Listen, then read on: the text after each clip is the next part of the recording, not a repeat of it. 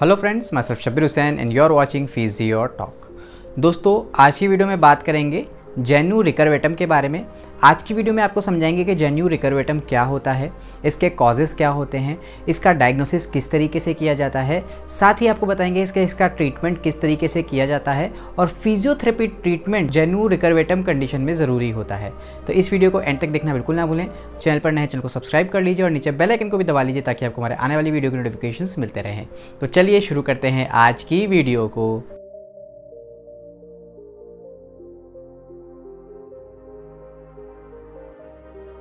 दोस्तों जेन्यू रिकर्वेटम का मतलब होता है आपके नी जॉइंट का हाइपर एक्सटेंशन में जाना। अगर आपके नी जॉइंट पर एक्सेसिव हाइपर एक्सटेंशन हो रहा है तो इस कंडीशन को हम बोलते हैं जेन्यू रिकर्वेटम अब बात करते हैं कि इसके कारण क्या होते हैं। दोस्तों मोस्ट कॉमन कारण जो होता है, वो होता है पोलियो की वजह से आपको नी जॉइंट हाइपर एक्सटेंशन में देखने को मिलता है। तो polio is the most commonest reason उसके बाद दूसरे ऐसे कारण होते हैं या ऐसी बीमारियाँ जिनमें आपके नी जॉइंट पे जो लिगामेंट है, उसके अंदर एक्सेसिव लेग्जिटी आपको देखने को मिले। जैसे मार्फन सिंड्रोम हो गया या चारकोट्स एट्रोफी हो गई। ऐसी बीमारियों के अंदर आपके जो लिगामेंट्स होते हैं, वो ज़्यादा ही लैक्स हो जाते हैं, यानी लचीलापन उन लिगामेंट्स में आ जाता है। तो उसकी वजह से आपको नी जॉइंट के अंदर हाइपर एक्सटेंशन देखने को मिलता है। अब बात करते हैं कि इसका डायग्नोसिस कैसे किया जाता है।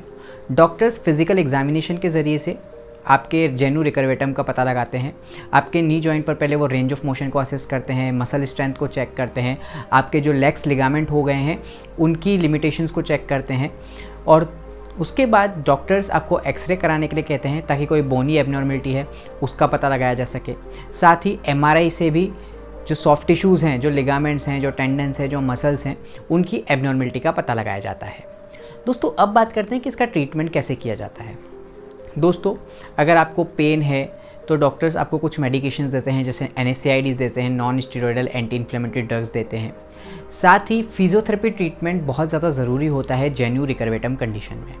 डॉक्टर्स आपके रेंज ऑफ़ मोशन को असेस करते हैं और उसके बाद आपके नी जॉइंट के ऊपर मसल स्टेबिलिटी को देखा जाता है मसल स्ट्रेंथ को चेक किया जाता है ताकि जो आपका नी है, उसको स्टेबलाइज किया जा सके और हाइपर एक्सटेंशन में जाने से रोका सके।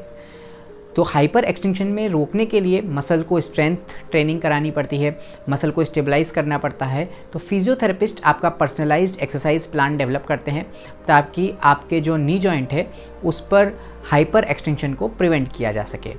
दोस्तों, कुछ सीवियर केसेस के अंदर आपको सर्जरी भी प्रिस्क्राइब की जाती है डॉक्टर्स के द्वारा, जो अपर एंड है टीबिया का, उसकी ऑस्टियोटोमी की जाती है करेक्टिव ऑस्टियोटोमी प्रोसीजर किया जाता है, ताकि आपके नी जॉइंट को हाइपर एक्सटेंशन में जाने से रोका जा सके।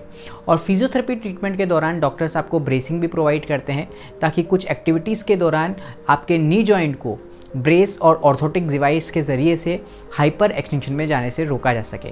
तो दोस्तों, आज की वीडियो में आपको बताया कि जेन्यू रिकर्वेटम कंडीशन क्या होती है। इसका डायग्नोसिस कैसे किया जाता है और इसका ट्रीटमेंट कैसे किया जाता है।